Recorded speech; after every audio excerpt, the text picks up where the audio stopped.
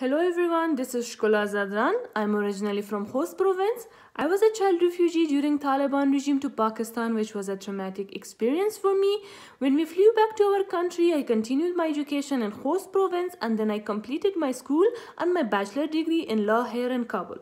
Since then, I believe that every young individual, especially girls, must be financially independent. And that was when I got my first part-time job in order to gain some practical experience and uh, afford my needs. Since then, I have been working with uh, many international and national organizations.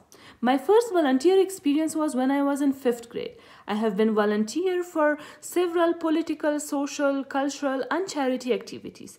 It helped me to make good friends, it enhanced my confidence, uh, it improved my sense of purpose, and it developed my career. Meanwhile, it makes me mentally happy I want Afghanistan to reach to a state where uh, children get good quality education instead of working on streets, where women receive equal capacity building and career opportunities instead of being mistreated, where young individuals fulfill their dreams by putting all their efforts for a satisfying life instead of being addicted to uh, drugs and mm, wasting their lives uh, being uh, aimless or jobless. For all those long-term ob objectives, I have a bright vision. I want to be the accomplished person as well as the one who will pave the way for the rest of young energies to rise, shine and bring the change.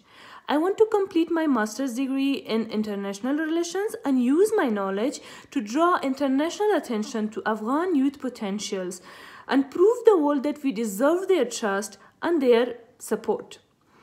Meanwhile, I want to develop my advocacy skills in order to embark a career where I can advocate for others and educate local people to advocate for themselves. I believe that our society needs a change. And for that change, we need to change. We must bring the change. Thank you very much.